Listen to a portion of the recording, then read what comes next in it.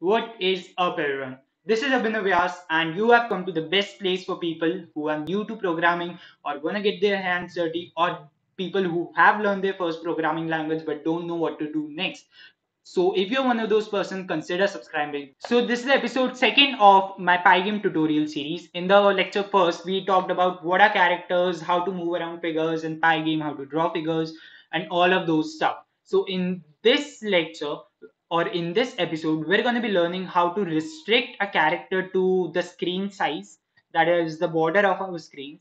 And also, we're going to be learning about how to make a character jump. Like uh, you have seen that Super Mario game. In this, when you press the upper arrow key, the Mario jumps. Okay, the character is Mario, it jumps. So, how to do that to our character? We're going to be learning that today.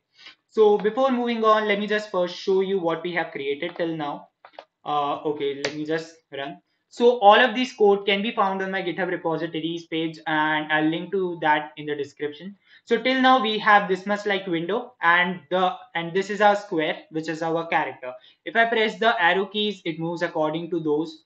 Okay so it is pretty cool but uh, as i told if i try to go off the borders it allows us to do. So how to limit to that? Okay so now I told you in the last episode that it has something to do with the coordinates. Okay, so let me just tell you here. Okay, so if the user is moving right, so I'm checking one more condition according to it. I I will not allow the character to go beyond the scope of the screen. So how to do? Oh, actually, okay, we'll do it like 500 minus velocity minus okay width minus velocity. I hope that completely makes sense so we are subtracting the width of a character from the size of the window. Actually, this is the screen size. You can see the width comma height. This is the screen size. We are subtracting width of a figure and the velocity from it. Okay. So similarly, it is uh, okay. And similarly, this uh, thing is also okay. We just need to replace this width with 500 and minus width.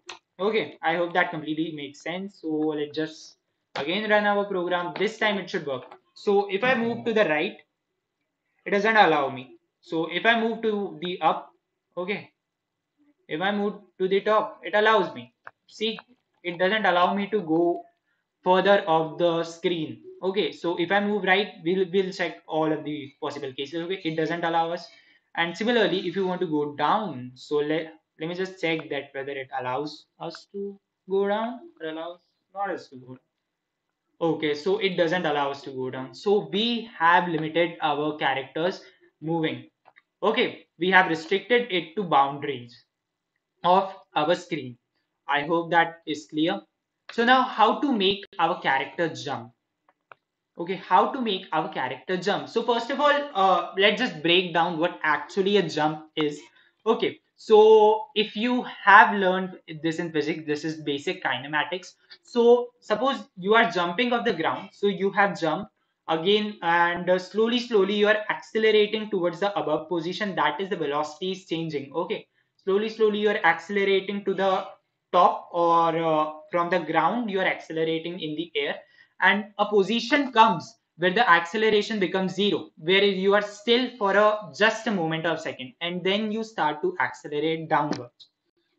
Okay, that is the jump. You move up with acceleration, you move up with acceleration, you stop in the air, then you again move down with acceleration. I hope that makes sense. So, so we're going to be implementing that that here. So we have to define some variable here. So is jump uh, if jump is equals to false. So this is the variable that will check that whether we are currently jumping or not. Okay, that whether we are currently jumping or not. Uh, okay, whether we are currently because if we jump, we have to limit this arrow keys the up and the down arrow keys we have to limit the use of this while we are in the air while we are jumping we have to limit these two keys like uh, suppose I uh, I'm pressing the spacebar key to jump. So when the object is in the air, I do not want to allow uh, the object to move up or down with the arrow keys. I hope that makes sense. So is jump is equals to false because currently it is not jumping and jump count. So now I'll tell you in a minute what will this variable does and let's just take So now let's write the code for jumping in Python. So we have defined two variable here as is jump as false and jump count as 10. Okay, so now we need to res restrict. Okay, we need to restrict this two keys because while we are in the air, we do not want to move up and down. So I'll write simple logic here.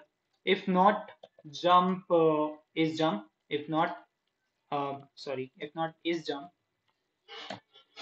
if not is jump, uh, then uh, this will be executed this up and we have to add one more parameter here as the spacebar because we will be initiating the jump by a spacebar so we'll write here pygame dot k underscore space k underscore space. And when we press the spacebar is jump shall be evaluated to true.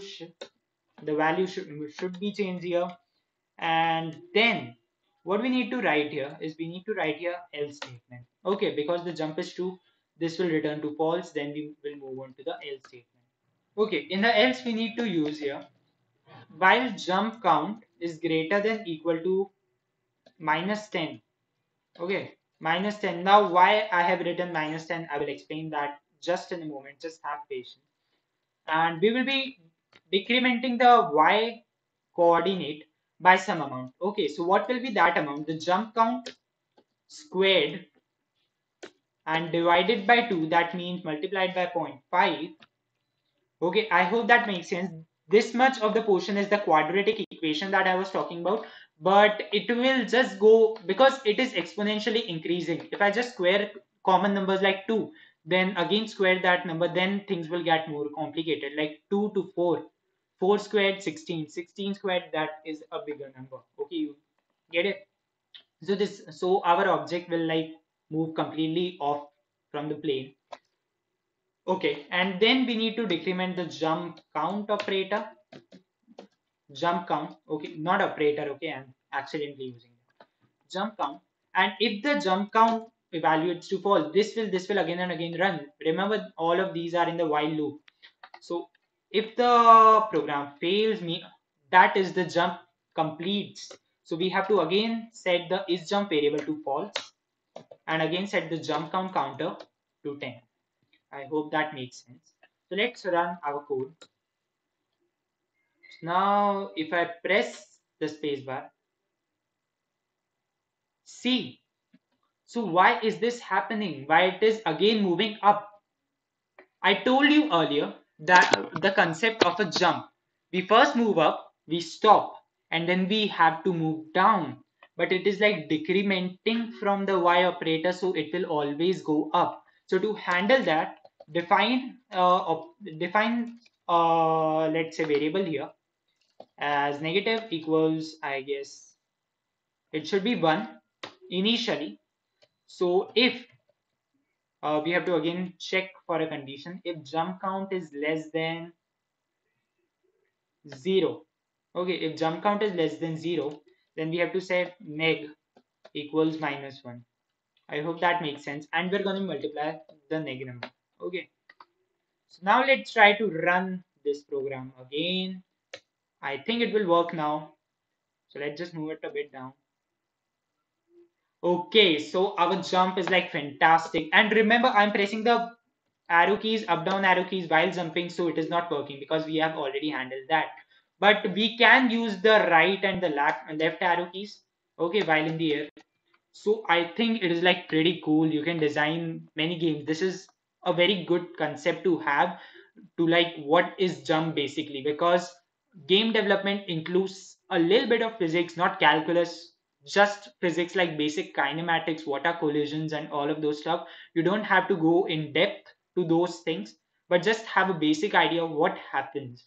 Okay, what happens theoretically, and how can we implement that in our program. So I guess it is like awesomely clear. In the next episode, I'm going to be talking about how you can implement like real world characters, uh, not like real world characters, the sprites, which are the character images uh, just like in Mario game, the Mario image is a sprite. Okay, we will discuss all of that, how video works, and what are frame rates, what are clock speeds in the next tutorial. if you got any value from this video then don't forget to hit that like button because every like counts and every like helps this channel to grow. And i have created this channel for you guys only to understand the basic concepts and to have a clear understanding of what exactly is programming. I stand for programming is not a subject it is a skill. And i'm here to teach you that skill. So we got like any literally any value just hit that like button and subscribe to my channel if you were those one persons that i talked earlier in this video. Thanks for watching my video. I'll see you in the next video